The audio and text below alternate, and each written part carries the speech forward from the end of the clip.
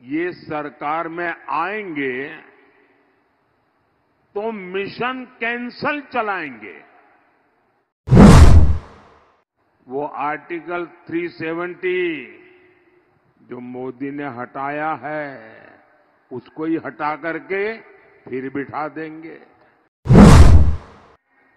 तो मोदी जो सीएए लाया है, उसको कैंसल करेंगे। इंडी वाले सरकार में आए तो मोदी जो तीन तलाक के खिलाफ कानून लाए हैं, उसको कैंसल करेंगे। ये लोग मोदी जो किसान सम्मान निधि का पैसा किसानों को भेजता है, उसको कैंसल कर देंगे।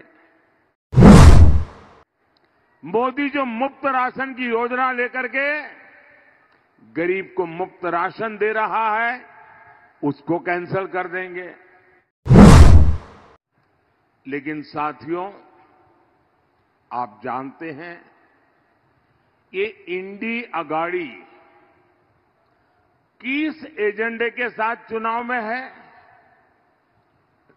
इनका एक ही एजेंडा है। ये सरकार में आएँगे तो मिशन कैंसल चलाएँगे।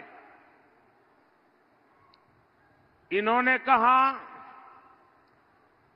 इंडी वाले जब सरकार में आए तो वो आर्टिकल 370 जो मोदी ने हटाया है, उसको ही हटा करके फिर बिठा देंगे। इंडी वाले सरकार में आए तो मोदी जो सीएए लाया है, उसको कैंसल करेंगे। इंडी वाले सरकार में आए तो मोदी जो तीन तलाक के खिलाफ कानून लाए हैं, उसको कैंसल करेंगे।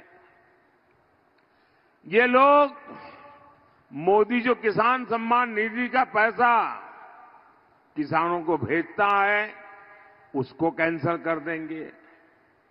मोदी जो मुफ़्त राशन की योजना लेकर के गरीब को मुफ़्त राशन दे रहा है, उसको कैंसल कर देंगे। हम देश के 55 करोड़ गरीबों को पाँच लाख रुपए तक का मुफ़्त इलाज दे रहे हैं। कांग्रेस, एनडीए की ये योजना भी कैंसल कर देगी। और इतना ही नहीं, कांग्रेस वाले, इंडी अगाड़ी वाले, राम मंदिर को भी कैंसल कर देंगे।